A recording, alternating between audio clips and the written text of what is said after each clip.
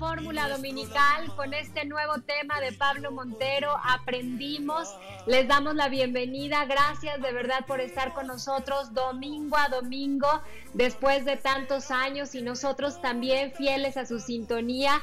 Aquí estamos para hablarles de espectáculos la próxima hora.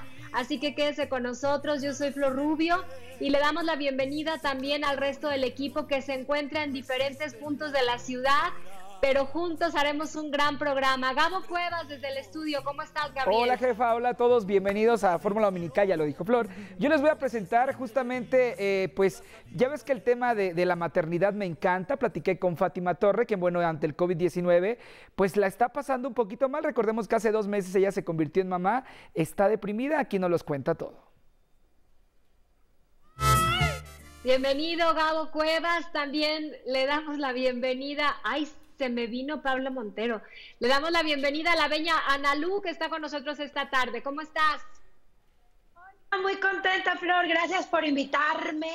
Una nueva emisión de Fórmula Dominical. Oye, y quiero decirle a Gabo que se eche una luz porque trae el filtro prieto de Bárbara de Regil. Le van a hacer bullying en redes. Es la iluminación de aquí, bebé. Sí, me veo muy prieto, ¿eh? Muy prieto. Es broma, por supuesto. Obviamente. Ay, de veras. Bueno, vamos a darle la bienvenida también, que se integra con nosotros a la plática, Joel O'Farrilly. ¿Nos estás escuchando, Joelito? Hola, hola, ¿cómo están todos? Buenas tardes. De domingo a domingo les vengo a ver, como dice la canción. Y pues bueno, mañana se estrena el programa Guerreros y Magda Rodríguez me dijo qué pasó finalmente con estas pruebas eh, antidoping que les hicieron a los participantes, pues ya tienen los resultados y pues les contamos para seguirle, eh, darle seguimiento a tu nota, Gabo. Me encanta, te amo, hermano. Yo a ti. Bueno, pues vamos a empezar con nuestra emisión dominical y ha sido un fin de semana sin duda de reflexión y de recordación, porque justamente el día de ayer Edith González cumplió un año de haberse ido Pasó rápido el tiempo, eh, fue una muerte que nos tomó por sorpresa a todos porque Edith estaba haciendo el show de televisión azteca, este es mi estilo, y después poco supimos de ella, su salud se vino abajo, mientras ella decía que estaba bien y desafortunadamente perdió la vida.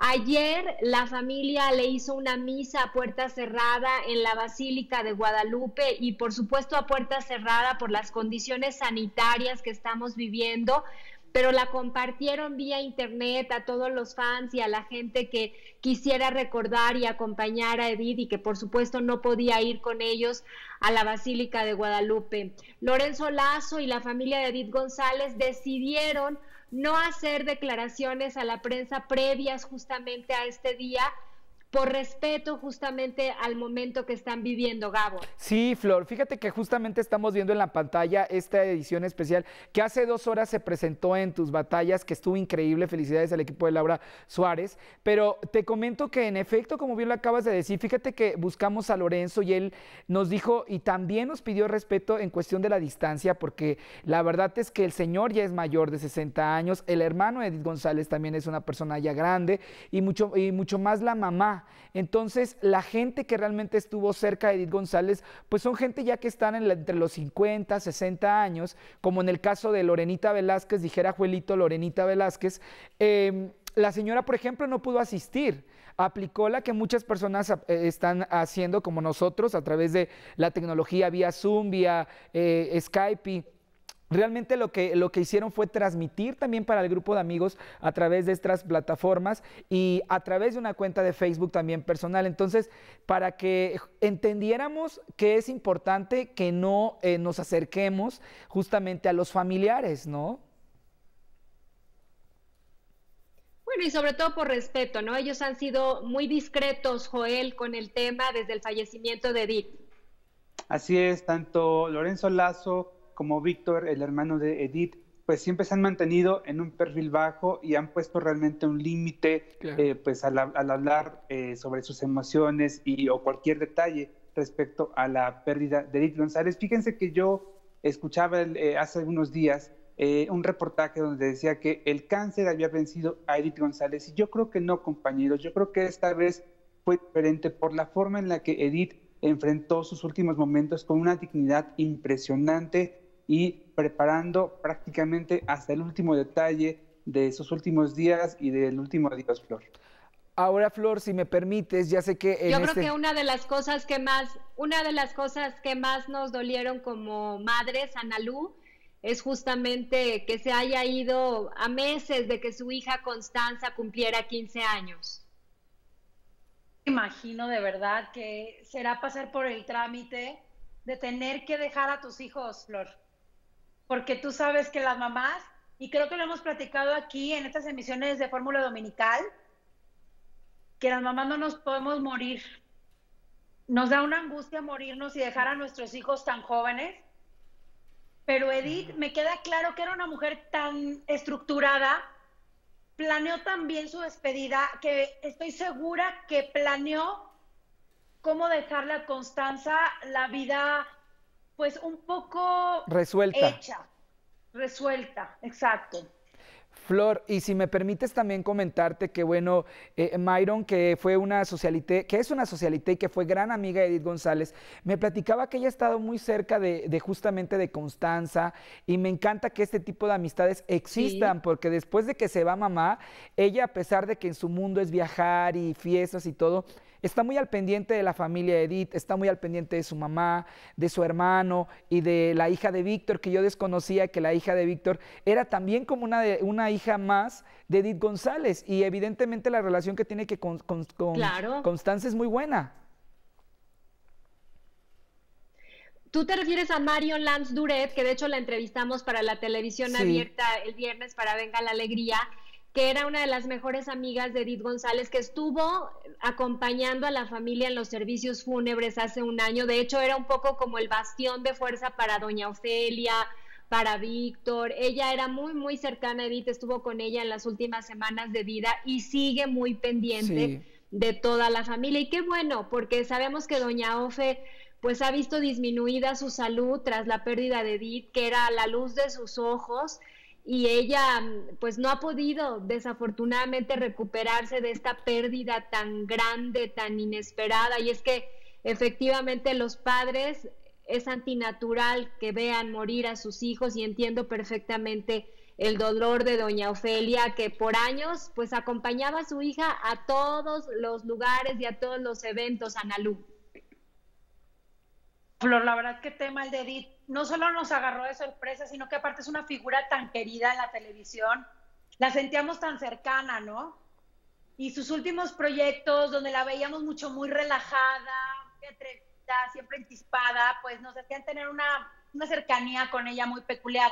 Nosotros como público queríamos verla sana, quería que nos, queríamos que nos dijera, ya estoy bien, ya pasé esto, todo va a estar bien. Sin embargo, pues bueno, otra fue el desenlace.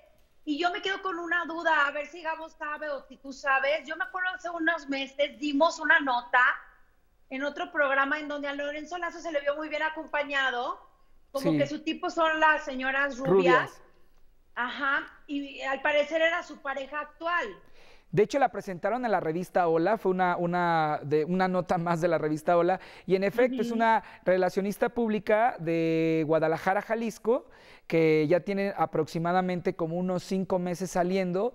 Para ser exactos, en el mes número 6, en diciembre del año pasado, es cuando se conocieron y empezaron a salir, pero fue hasta marzo de este 2020 cuando ya se hizo oficial esta noticia que ella lo habrá acompañado. Y bueno, pues en, su total derecho, ¿no? Sí, claro. Sí, totalmente. Como tú lo decías en Venga la Alegría, Flor, eh, justamente el duelo no tiene una fecha, me explico, y pues el señor igual tiene derecho a rehacer su vida y qué bien que lo está haciendo. Es un proceso muy personal. Lo que también nos queda eh, pendiente es la situación de Creo que nos estamos encimando, muchachos. Vamos en orden, vamos en orden, porque si no, yo ya no entiendo nada desde acá. Lo que les decía es sobre Constanza, que este año ya cumple 16 y se ha mantenido en muy bajo perfil. La familia la ha mantenido totalmente alejada de las redes sociales, alejada del ojo público, de los medios de comunicación, pero en la entrevista que te dio Marion Lance Duret, Gabriel, dijo que hay muchas sorpresas y que vamos a saber pronto de Constanza. ¿A qué se refería? Creo que va a seguir los pasos de mamá, ¿eh? Por lo que, por lo que entendí. Pero Flor, ¿te parece si nos vamos a una pequeña pausa comercial justamente y regresando podemos debatir de este tema que creo que a muchas personas nos daría gusto ver a la hija Edith González seguir los pasos de su mamá? ¿Te parece si tú nos mandas a la, a la pausa, querida jefa? Gracias por estar con nosotros en este domingo.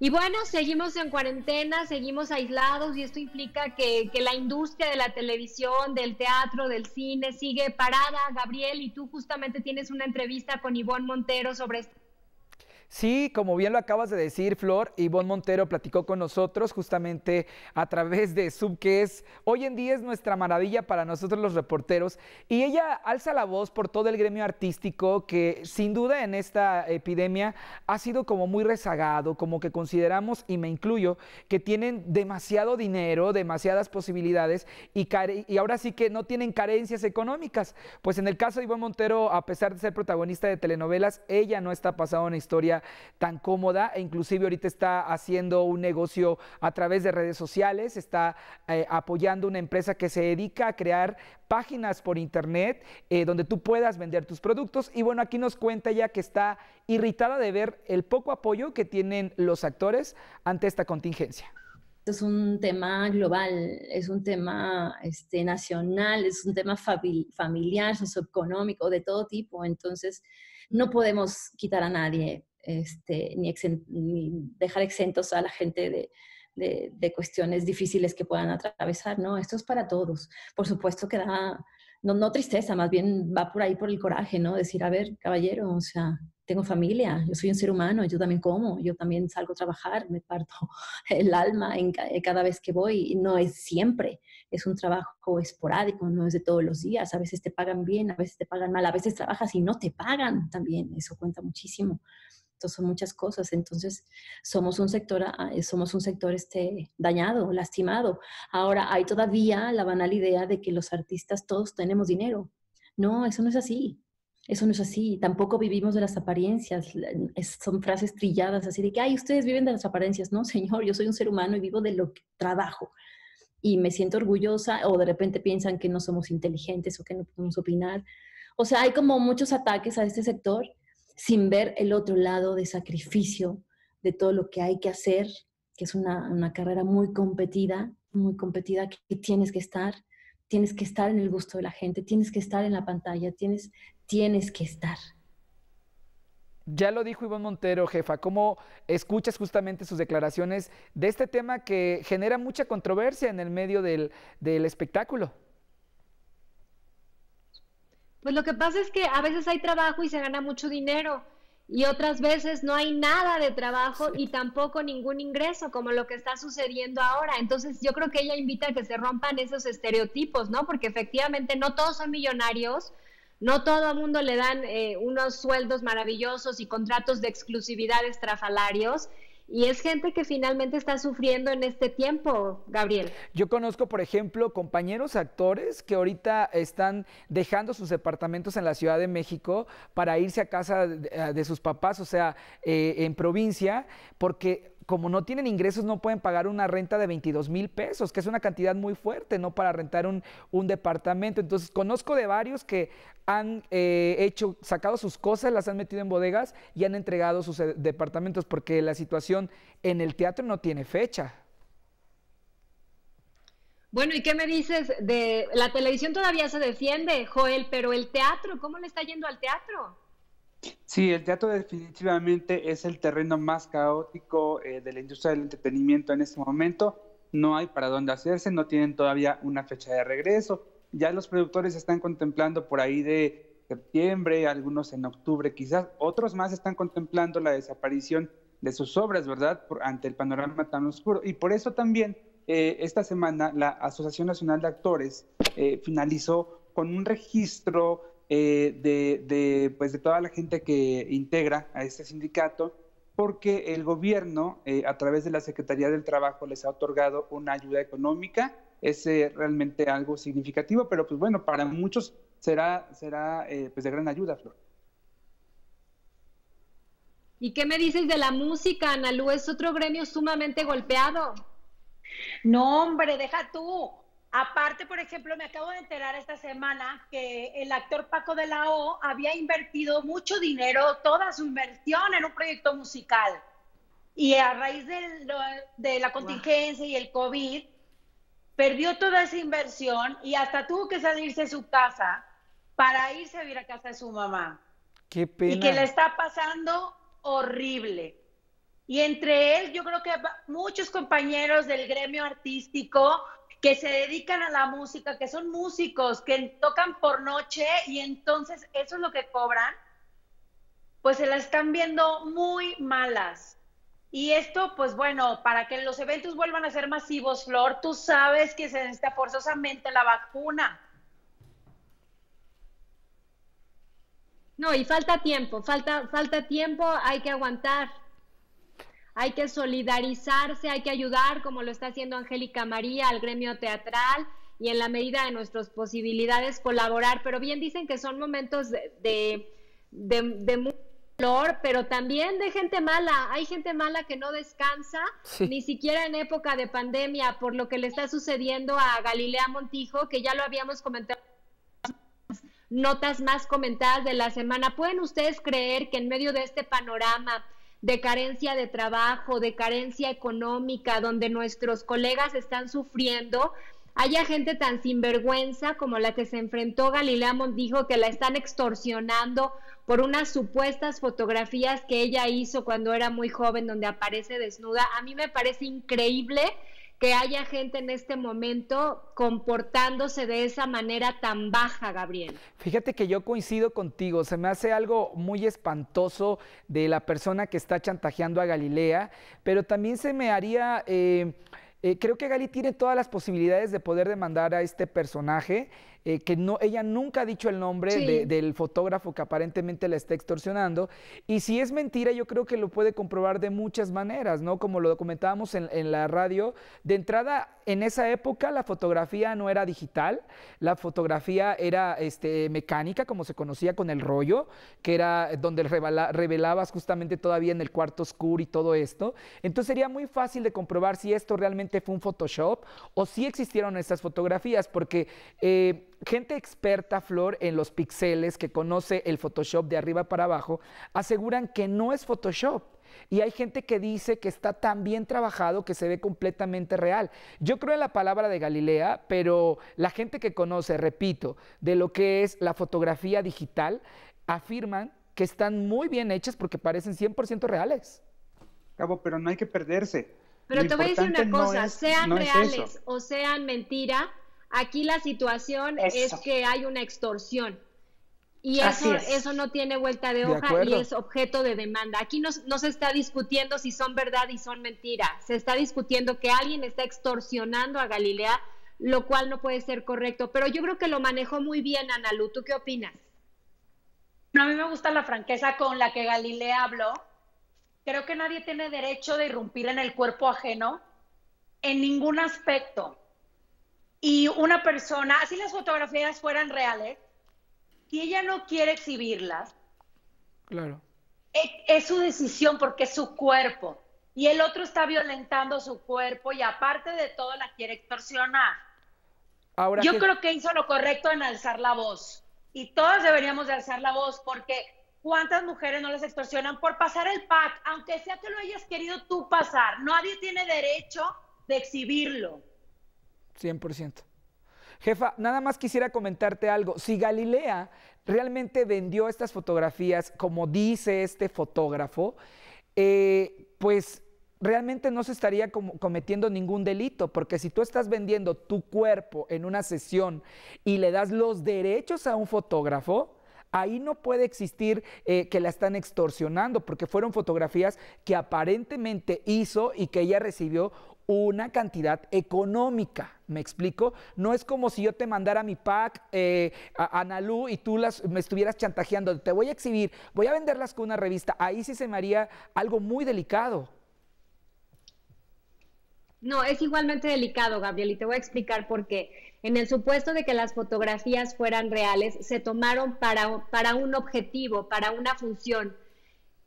Han pasado muchos años y esto se llama extorsión. Es decir, yo hago unas fotografías para ti, para que las publiques en tal revista o para que las tengas tú y demás. Es decir, se hacen con un objetivo. Tú no puedes salir 20 o 30 años después a decirle, pues si no me pagas, yo voy a mostrar estas fotografías. Eso se llama extorsión aquí en China hace 10, 20 o 30 años. Y eso es un delito, ¿verdad, Joel? Sí, por donde le vean, es, este caso es hay un delito ahí de por medio, por donde le busquen. Así que creo que Galilea tiene que poner mano dura, eh, espero que así sea, y que también pues sirva como un precedente, ¿no? Para que eh, estos famosos pues ya no sean víctimas, porque constantemente, compañeros, ellos son víctimas de eh, este tipo de cuestiones, muchas veces las han logrado parar y nosotros ni nos enteramos, pero no es la primera vez que ocurre. ¿eh?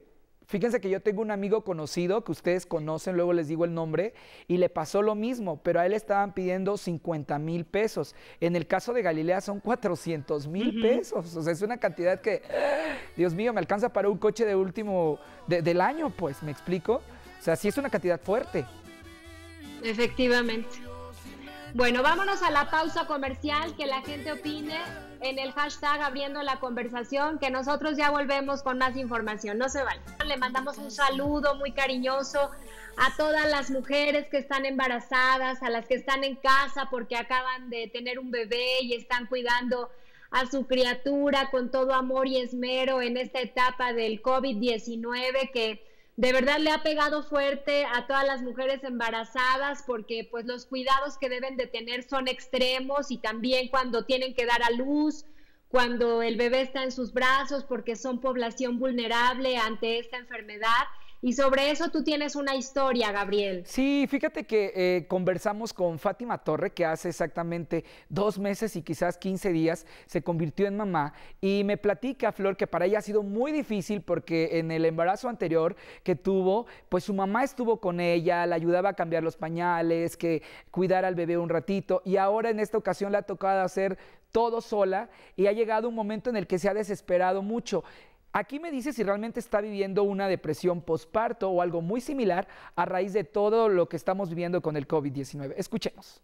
Ahorita ha sido bien difícil y cada quien tiene como sus, sus, eh, sus situaciones, ¿no? Eh, o las cosas que les afectan.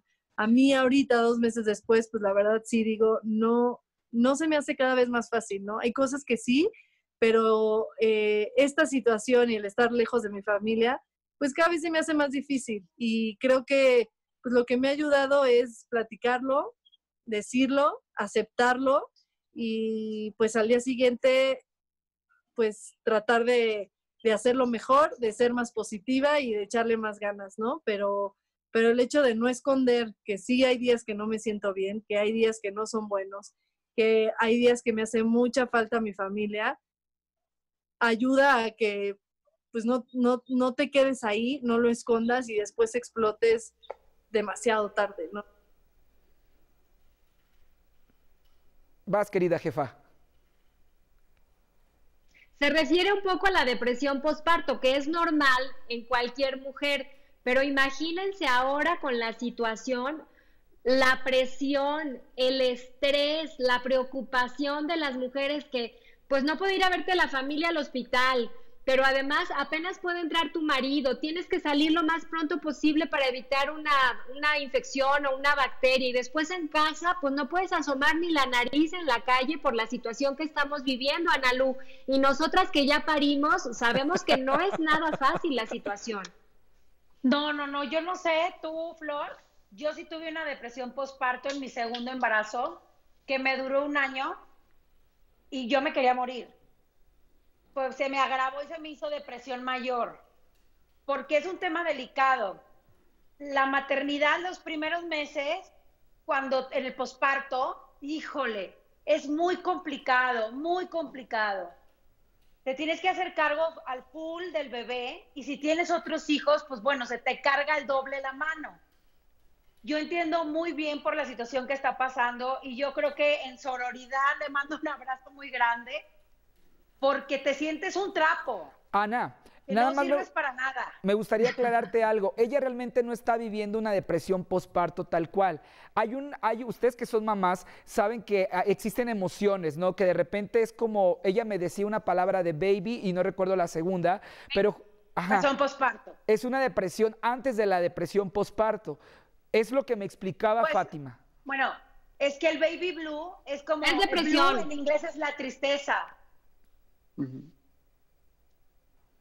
Te quedaste, Flor, con la palabra. Es, es, depresión, pero la está manejando. No, no, no. Es depresión que está manejando y es superable, pero definitivamente la tiene cada mujer en distintos niveles de acuerdo a, su, a sus hormonas, pero de que la tiene, la tiene, mi Así que yo creo que bien vale la pena que reciba este abrazo que le mandaste a Analu, a ella y a todas las mujeres que están pasando por una situación similar. Pero bueno, vámonos a otros temas.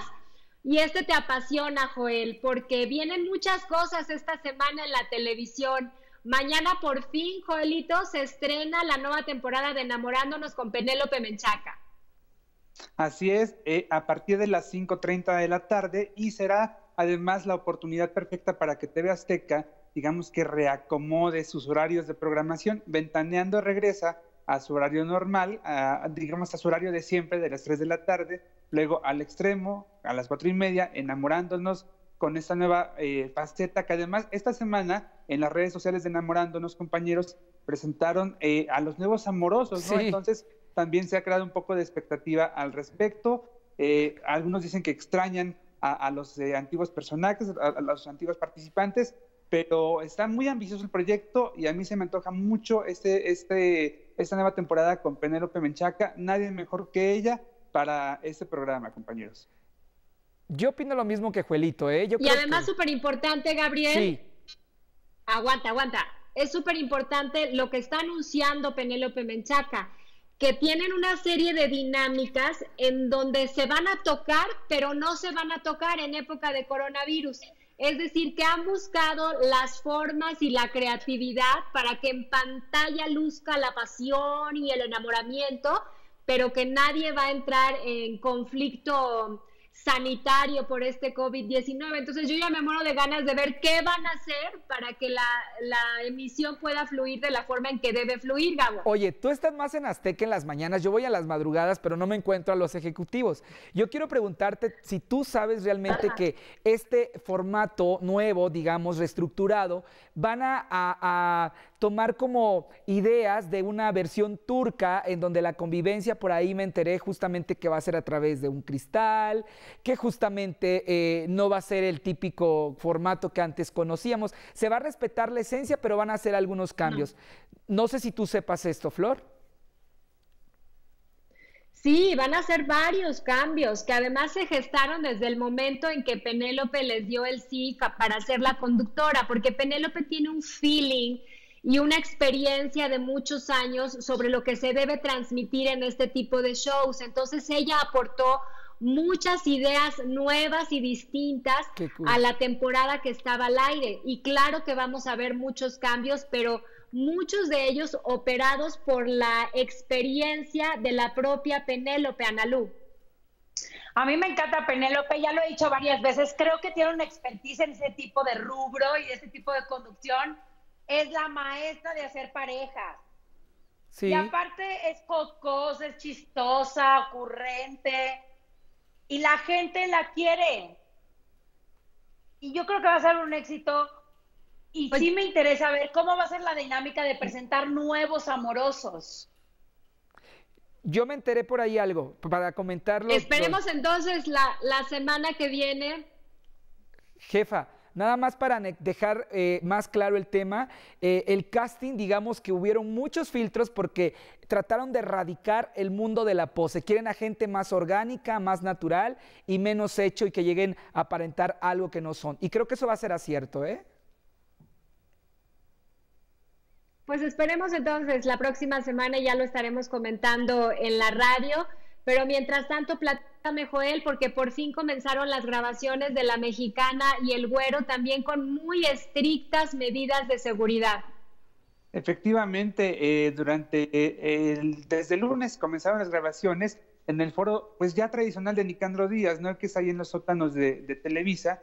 Eh, y bueno, pues e, era impactante ver a los actores eh, en el primer día de grabaciones y todos con sus mascarillas, con sus cubrebocas. Para mí fue impresionante y también me cuentan que eh, la producción pues trató de que en el foro estuviera la menor cantidad de gente posible, gente que no tuviera nada que hacer ahí, vámonos, ni siquiera podía ingresar al foro, ¿no? Entonces, bueno, el Nicandro tiene algunas semanas para hacer su colchón de capítulos. Recordemos que esta telenovela debe empezar el próximo 3 de agosto. Y bueno, pues eh, está el reto también para Nicandro Díaz de superar a su antecesora, que fue como Tú no hay dos y que le dejó aproximadamente 4 millones de espectadores ya en los últimos capítulos. Y también La Rosa de Guadalupe, que está entre los tres y medio a 4 millones cada noche, Flor. Gabo, y también mañana es la fecha de estreno de Los Guerreros. ¿Tienes algo nuevo para nuestro público? Porque estamos a horas de que se estrene este programa en Televisa bajo la producción de Magda Rodríguez. Por supuesto que tengo cosas nuevas. Fíjate que el fin de semana tuvieron ensayo brutalmente. Te estoy hablando del pasado viernes, para ser exactos. Eh, Magda está eh, desarrollando más que nada a, los chavos. Les están trabajando mucho, Flor, en ponerle apodos comerciales, ¿no? Por ejemplo, me enteré, eh, ustedes saben que está ahí una amiga y que amo mucho, Brenda Zambrano. A Brenda la van a nombrar la Blancanieves del norte, porque es una mujer muy guapa, pelazo negro y todo. Entonces, como que el Magda le está buscando unos prototipos a cada uno y ya empezaron los conflictos, ¿eh?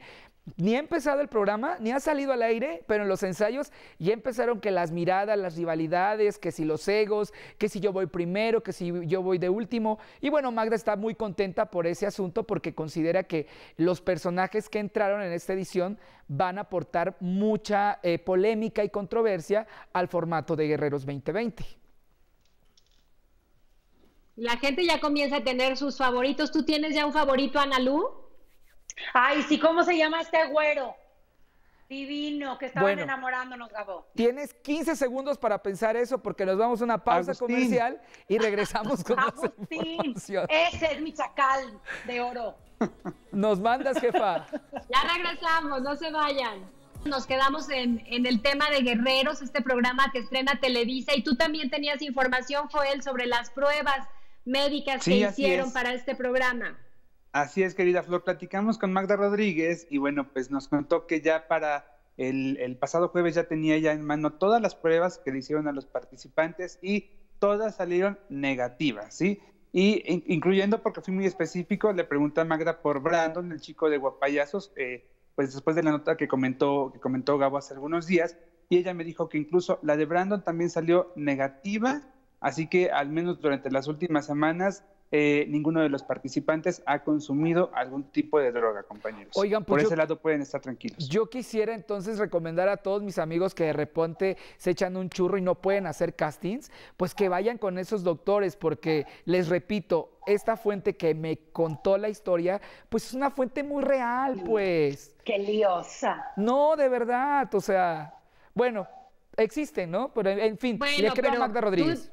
tú no, es que yo creo que no debes insistir con ese tema porque efectivamente ya Magda nos tuvo la confianza para hablar sobre eso y pues es la máxima autoridad en el tema, Gabo, no insistamos sobre lo mismo porque además no tienes una constancia de que así sea. Entonces vámonos a otros temas que sean felices y adelante, ¿no crees? Pues sí, me encanta. la que también ya comenzó esta semana en medio de la controversia es Laura Bozo que comenzó grabaciones de su programa y qué tal el encontronazo con Alfredo Adame, Analú. De entrada, ya saben que es mecha corta. Mi Alfredo Adame, le, o sea, tiene así un garbo para enojarse. Y luego, pues también saben que la niña se enojona y le meten pellizcos. Ya tenían ellos un conflicto. Y Magda, porque le encanta también hacer rating, y yo estoy a favor de que haga rating, por supuesto, pues entonces junto a los elementos para que explotara la bomba, Flor. Y tú los entrevistaste, Joelito, a, a, a todas las fuentes. Tuviste la oportunidad de hablar con Magda, tuviste la oportunidad de hablar con Alfredo. ¿Tendrá punto de arreglo en el futuro, Joel?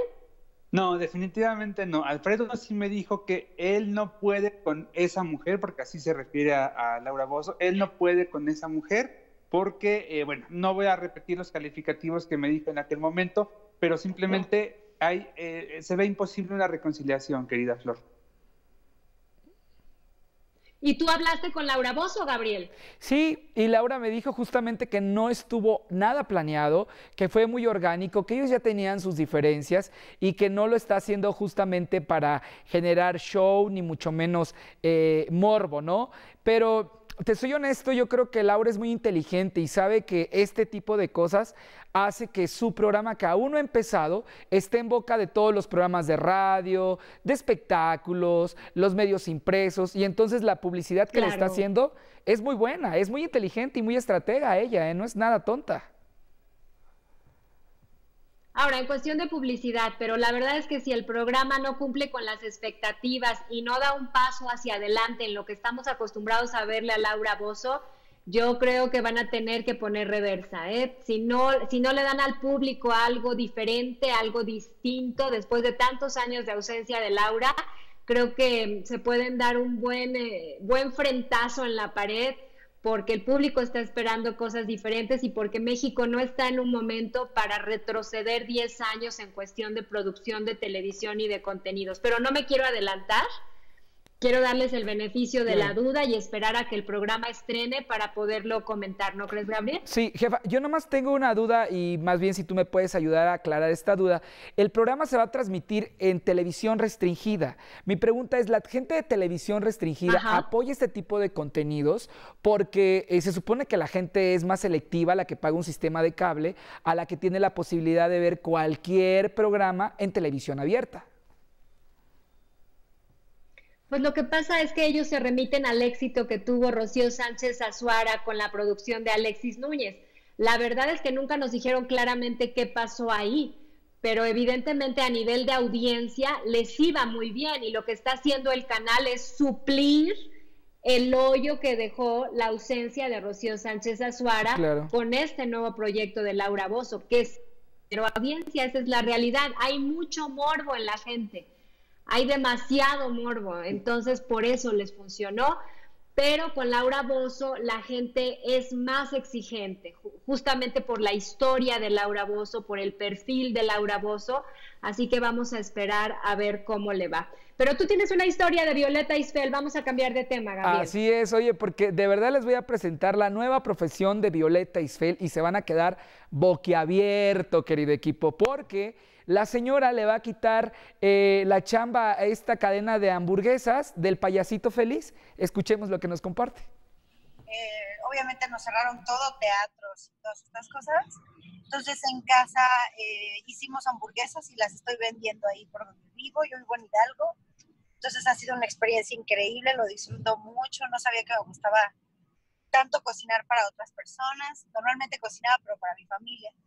Y ahora lo hago así y ahora pues lo hacía toda la semana, pero este, ya regresamos a grabar con Lorenza la serie, la segunda temporada, y, este, y ahora pues solo lo haré los fines de semana y así. La verdad es que ha sido un buen momento para poner en orden mi casa, mi closet, ya sabes, todas esas cosas. Oye, pero qué padre que, que te atrevas a, hacer hamburguesas y que vendas también. Digo, eh, no sabía que tenías talento en la cocina para empezar. Sí. Pero ¿cómo ha sido esa experiencia? ¿Te ha gustado? Los mucho. que dicen el sazón? Pues que les encanta, o sea, les gusta mucho. De hecho, lo he comentado en, eh, porque también otra cosa que hago es que en las noches me conecto por TikTok en live y les, este, les leo un libro. Este, ya nos echamos un libro toda la cuarentena, ya estoy leyendo el segundo libro de una saga de seis. Entonces la gente lo disfruta mucho y justamente les contaba esto y me dicen, es que ¿dónde las puedo ir a comprar? Quiero ir y yo así, no, es que es a domicilio, pero es algo que yo creo que seguiré haciendo después de, no sé, que se recupere un poco la economía y todo este rollo. ¿Qué tal la nueva profesión? Eh? ¿No se les antoja una hamburguesa ahorita en este dominguito, esta hora, eh, ya a punto de las 5? Estaría deliciosa, Flor, que nos mande una, ¿no? Oye, me parece grandioso la, lo que nos está diciendo Violeta Isfel, porque ella encontró un bache económico y dijo, aquí no me quedo.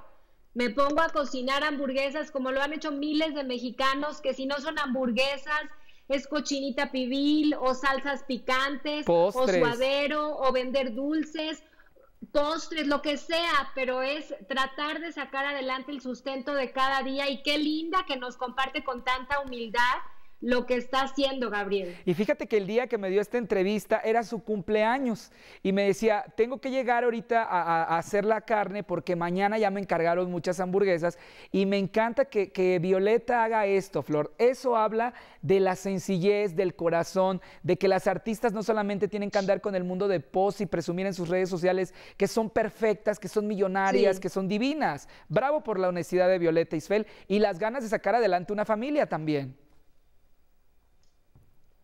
Habla de la fuerza de las mujeres, Analú. Así es. Y aparte de ella, que siempre se ha dado tan, perdón, que siempre ha sido tan echada para adelante, tan trabajadora y que no se les ha visto fácil porque un tiempo fue mamá soltera y se hizo cargo de su hijo solita y aparte pues pasó por, una, por un problema intrafamiliar muy fuerte del que salió adelante también y con, como dice ella, que se salió con las maletas y escondidas y empezó de cero. Entonces ella es una mujer muy aguerrida, Flor. Y, y, que no se nos olvide que su marido rentaba inflables. Y ese es un negocio que en este momento está parado por las condiciones de la pandemia, Joel. Entonces la situación me imagino que se les complicó.